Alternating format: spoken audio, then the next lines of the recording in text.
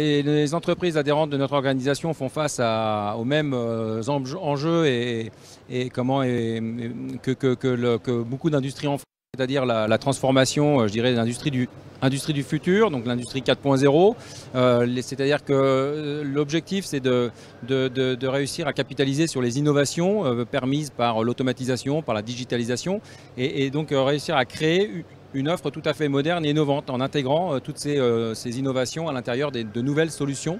Et donc euh, cette, mutation, on veut, pouvoir la, renforcer au sein de notre organisation, au sein des entreprises de l'offre, et se tourner vers les marchés pour la rendre accessible au secteur client, aux grands secteurs aux grandes filières industrielles. Et donc cet accélérateur permet d'accélérer la croissance de ces entreprises qui doivent traverser une mutation technologique, mais aussi organisationnelle, économique et, l'accélérateur de croissance euh, BPI euh, accompagne très très bien cette, cette, accélération dans cet axe-là. Alors le slogan derrière, il y a marqué pour gagner en performance, c'est ça? Exactement en gagner en performance à, tous les niveaux. Hein. On, est, face à, des, vraies, mutations. Quand on intègre, euh, quand on change de business model parce qu'on ne vend plus une machine mais on va vendre du service, c'est une déstructuration complète de son offre commerciale, de ses relations euh, commerciales, de son organisation euh, interne. Et donc il faut tout reconstruire autour de ça. Et donc on a besoin d'avoir une, refondation en profondeur. Et pour cela, BPI met ses moyens et ses, partenaires à disposition autour de cette réflexion assez profonde. D'accord, très bien. Alors justement, BPI France, hein, on sait que vous remuez ciel et terre pour faire avancer euh, l'industrie française notamment. Euh, Estelle euh, Nguyen, justement, vous êtes responsable de programme accélérateur chez BPI France, donc ça tombe bien, vous allez nous parler un petit peu de, ce projet finalement, de cette ambition. Tout à fait, effectivement. Donc les accélérateurs et surtout l'accélérateur Solutions Industrie du Futur possèdent déjà deux promotions et la deuxième promotion qu'on va lancer cette fin d'année, le 29 novembre 2022.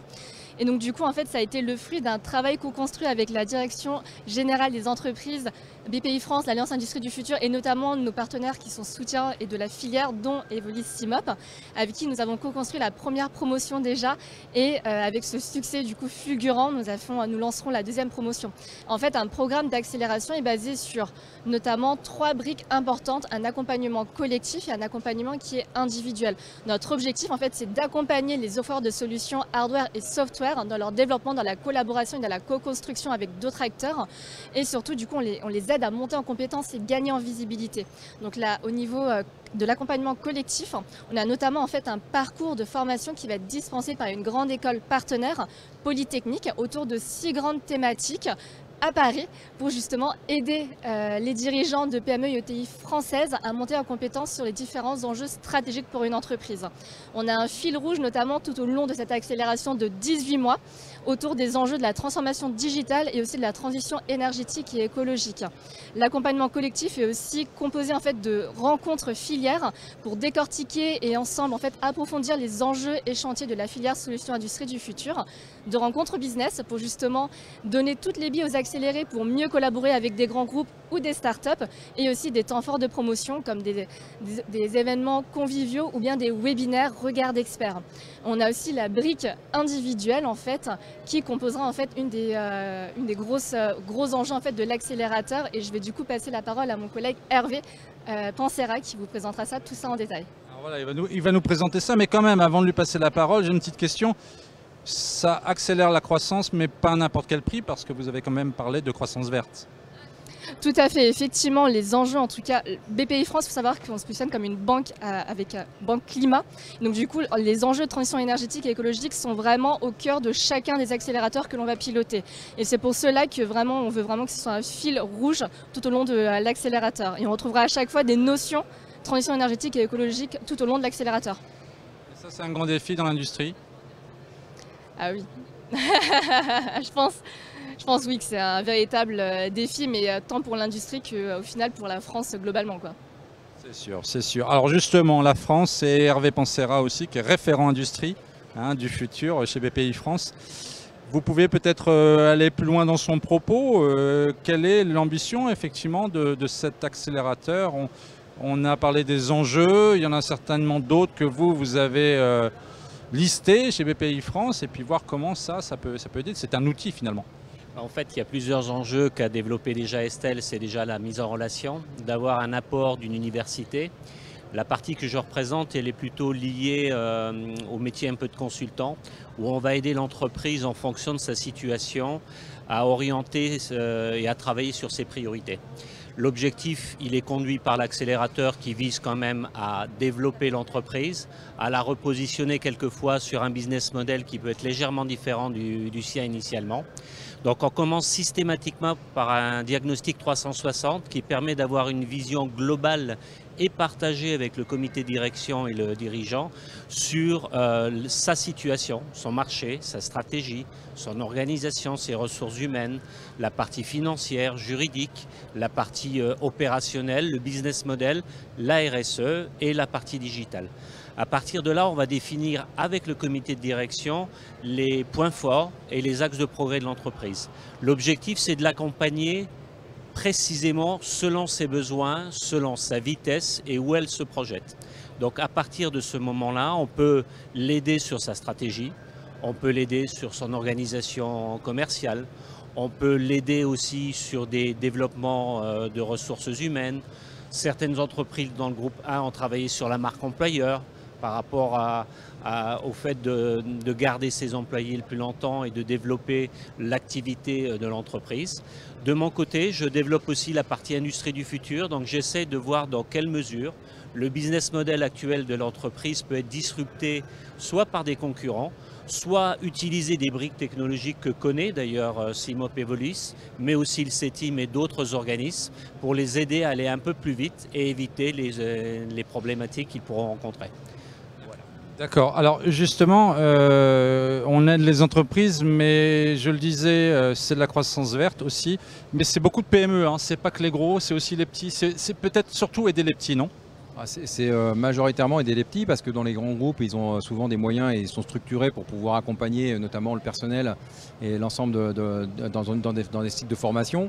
Dans une PME, c'est beaucoup plus compliqué. Hein. Une PME avec une quarantaine de personnes, ils, ont généralement un chiffre d'affaires en France qui est réalisé à l'export. Donc le chef d'entreprise court le, tout le, monde avec la pénurie actuelle des composants électroniques et autres. Les, les problématiques de fabrication et autres deviennent cruciaux ça devient très très complexe.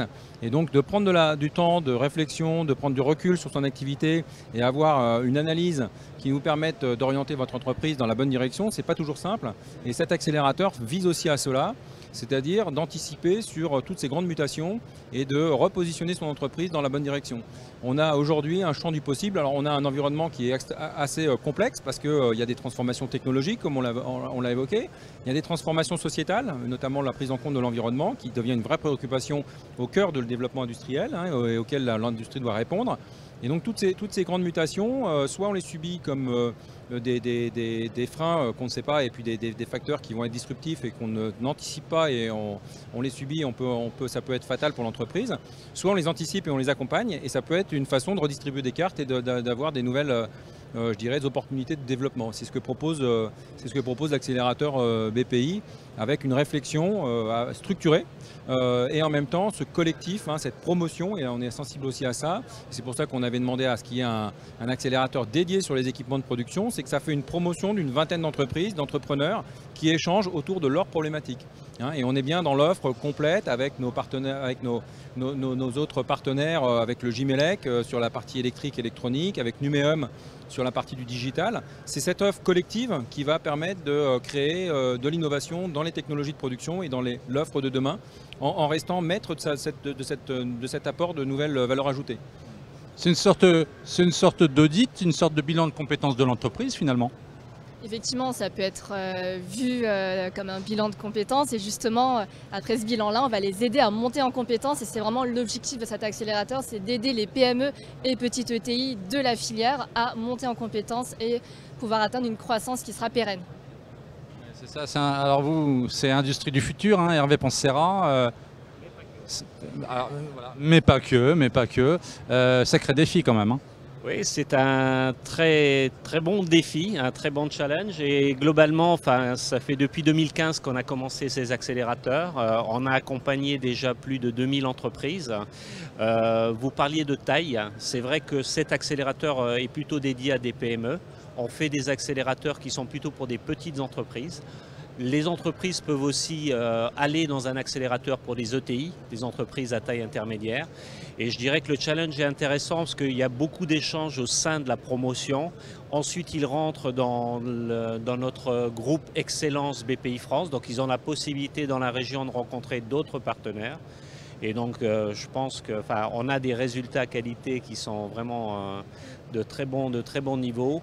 Et de plus en plus de personnes veulent nous rejoindre à travers ces accélérateurs. Donc, c'est plutôt sympa finalement, c'est de l'émulation. Hein. C'est un peu ça quand même. Tout à fait. Tout à fait. Le but de l'accélérateur n'est pas uniquement en fait de former ses dirigeants euh, sur de la stratégie, par exemple, ou de la marque employeur. C'est vraiment en fait rassembler ces acteurs autour de la table et les faire échanger entre eux, les faire vraiment collaborer. Et c'est vraiment cette émulation de discussion en fait qui va euh, permettre en fait à la France au final d'avoir un tournoi industriel euh, plus important encore que ses voisins.